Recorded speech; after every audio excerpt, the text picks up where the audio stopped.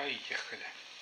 А, новый, новое видео, очередное видео, оно несколько несистемное, оно напрямую не связано ни с жизнью заповедника, ни с музыкой с кассеты, ни со старыми пластинками, ни с чем, скорее, а, наверное, какого-то инфраструктурного типа, потому что все кто так или иначе берет в руки паяльник или как-то имеет какое-то отношение к электричеству, пользуются измерительными приборами.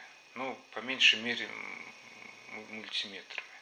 Кто-то еще осциллографами, анализаторами, там много генераторами, много чем. Сейчас а я хочу немножко сделать небольшое видео о самых необходимых приборах, о самом необходимом приборе практике, там, домашнем хозяйстве, наверное, это мультиметр или тестер, там по-разному их называют. Так сложилось, что у меня их два. У меня нет, сразу скажу, у меня нет большого опыта пользования разными системами. Все, э, все, весь мой опыт, он ограничивается только вот этой вот маркой флюк. Э, лучше она или хуже, чем другие, я не буду тут говорить. Наверное, дело вкуса, зависит от целей. Короче, два, два устройства. Они, в принципе, функционально схожи. Первый, первый э, флюк 87. Я начал пользоваться им, я не помню даже уже когда, может быть, в 91 может, в 92 году. То есть прибору по меньшей мере, ну, наверное, лет 30. Скорее всего, немножко больше. Он нормально работает. И вот этот вот э, другой флюк, более новый флюк 17B+, был куплен, возможно, в 10 или 15 году. Ну, по теперешним временам достаточно давно. Это я сразу скажу, что сколько стоит вот этот, я не знаю, я его не покупал. Это в свое время меня обеспечил им работодатель. А, вот, вот этот стоил, я бы сказал, недорого, там в районе, может быть, пяти, там, пяти с половиной тысяч рублей. Ну, не знаю. Вот, короче, первый прибор, флюк 87. Очень добротно, хорошая упаковка, э, инструкция я ей особенно не пользовался. Я не буду сейчас говорить о точности измерений. Э, наверное, она хорошая у них у всех. Вот такой вот приборчик. Он внешне он мало чем отличается от э, любого другого, там дорогого или дешевого. И второй прибор похож, с похожей функциональностью это Flux 17B такой вот прибор у него в комплекте. Там щупы, провода, датчик температуры. Я, кстати, ни разу его не испробовал. Вот такой вот он имеет, имеет вид. Если, если сравнить один и другой, то есть они, они похожи. Они похожи, оба они в такой ярко, ярко-оранжевые резиновые калоши такой же одинаковый примерно крутилка, которая переключает режимы, но, как говорится, дьявол кроется в деталях. Вот этот вот аппарат, старый, больше, более чем 30-летней давности. А, если вот взять даже на ощупь, то у более нового вот эта вот э, резиновая калоша, она жесткая, она больше похожа на пластик. Здесь, здесь же материал более мягкий, более, больше похожий на силикон, он легче снимается, одевается. Э, хоть экранчик поменьше, но пользоваться вот этим вот старым прибором удобнее. Он комфортнее и переключение режимов. Э, он работает от батарейки крона. Чтобы ее поменять, надо разобрать устройство, надо вытащить его из калоши, полностью снять заднюю стенку поставить крону, но это не так часто требуется. Что, что интересно, вот эта вот штука. То есть аппарат можно поставить, да, как и, собственно, вот этот. Здесь тоже есть такая подставка, она из твердой пластмассы, а, но вот здесь вот эта штука, она мягкая. Его можно не только поставить, его можно повесить. Он будет висеть вот на этой штуке. Она пластичная, ее можно э, согнуть, придать любую форму. И функционально вот эта вот оболочка, она гораздо удобнее, интереснее, приятнее в пользовании, чем вот этот более новодельное устройство. Следующее, что я на чем, что мне бросилось глаза, э, переключатель рода работы. Да, off выключено, включение, включение.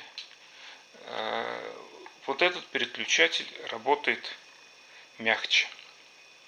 Его чисто тактильно, его приятнее переключать, чем вот этот. Вот этот более жесткий, может быть лучше, может быть нет, это дело, дело вкуса, конечно. Функционально тут, наверное, наверное, одинаково. Я не все возможности их испытываю. Насколько они точнее или не точнее других аппаратов, я не могу сказать, у меня опять же опыта нет. Но еще, еще на чем я хотел, обратить внимание, это смена батареек. Но новый, новый приборчик работает от двух элементов 2. Их менять достаточно удобно. Поворачивается винт, открывается крышка. Не надо аппарат э, вытаскивать из вот этой вот калоши. Хотя, наверное, тоже можно. Здесь, здесь такой фокус не пройдет. Здесь надо снимать вот эту калошу, но за счет того, что она мягкая, она снимается достаточно легко. И обратно одевается полностью там герметичное э, соединение ниж, нижней крышки из корпуса прибора. Очень все легко, просто, удобно, батарейка меняется. Редко первая батарейка, которая была с ним, не знаю, она, наверное, работала лет 10. Вот теперь еще, еще маленький нюанс, опять же, это детали, э, щупы, которые идут в комплекте вот с этим вот Made in China и э, старым аппаратом, который Made in USA. Да, это сделано в США, производство США, и коробка другая, и там с пенопластом, и здесь вот это больше похоже на упаковку, на упаковку от яиц я очень не люблю, но как есть, так есть.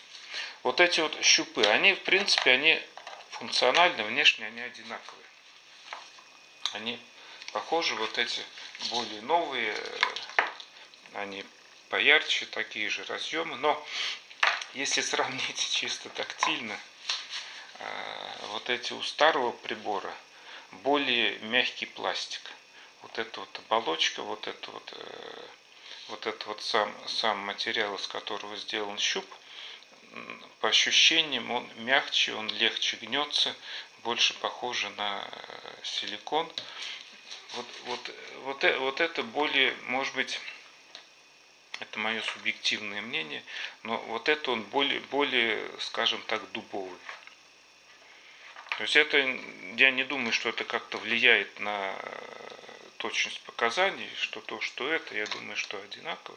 Но качество соединительных даже проводов, оно вот у старого американского прибора выше, чем у более нового китайского.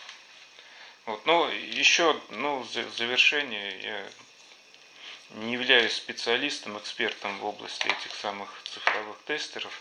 А, ради, ради, а, а, один раз мне пришлось воспользоваться каким-то дешевым китайским цифровым мультиметром, ну просто как вольтметром. И я просто поразился, насколько долго он э, думает э, над тем, какое напряжение к нему приложено.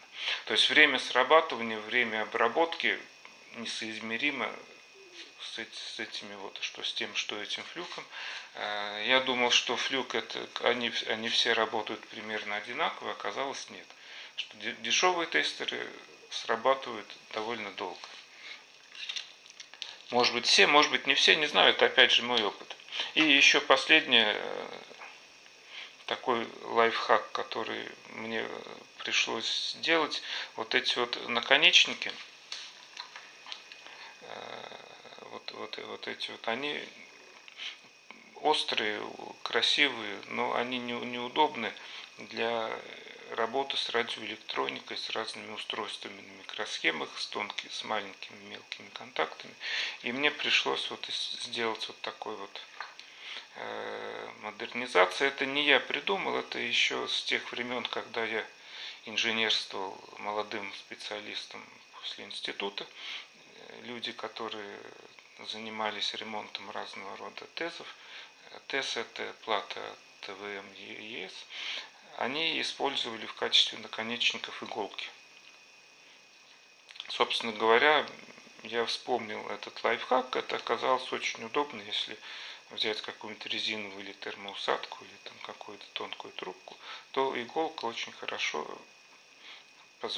решает все возникающие проблемы, сложности с использованием радиоэлектроники в мелких контактах.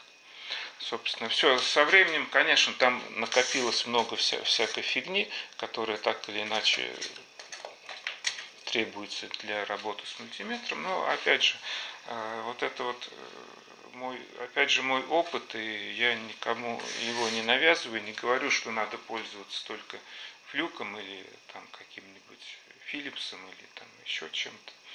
Это дело вкуса, каждому свое, но вот у меня такой опыт, и друг, другого нет.